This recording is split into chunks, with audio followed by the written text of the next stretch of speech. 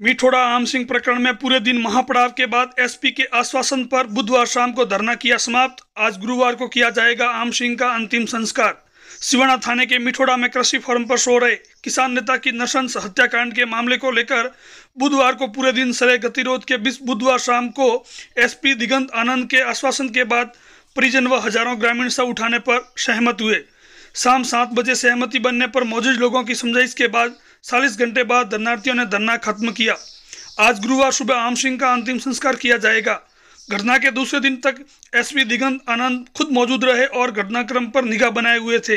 लोगों के आक्रोश को देखते हुए एक एसपी, तीन डीएसपी सहित दस सीआई के नेतृत्व में कुल बारह अलग अलग टीमें आरोपियों की शिनाख्त व धरपकड़ में लगी हुई हैं। हत्या के बाद से सक्रिय पुलिस टीमों ने आधा दर्जन संदिग्धों को हिरासत में लेकर पूछताछ कर रही है, लेकिन दूसरे दिन भी मामले में आरोपियों का सुराग नहीं लग पाया।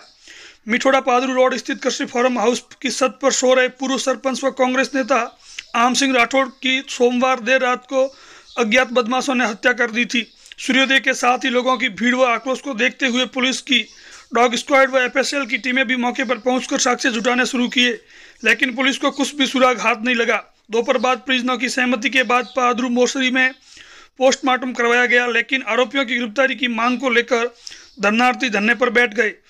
देर रात तक आरोपियों का सुराग नहीं लगने पर बुधवार सुबह सर्व समाज के बैनर तले हज़ारों लोगों की भीड़ पादरू सीएससी पर एकत्रित हुए और महापड़ाव डाल दिया।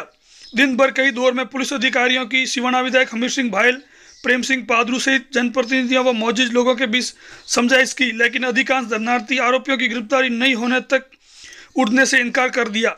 युवा नेता रविंद्र सिंह भाटी ने भी युवाओं से समझाइश की। आखिरकार बुधवार शाम साढ़े बजे बाद एसपी दिगंत आनंद ने स्वयं आकर धरनार्थियों व परिजनों से वार्ता कर शीघ्र ही मामले का खुलासा कर आरोपियों को गिरफ़्तार करने के आश्वासन के बाद शव उठाने पर सहमति बनी।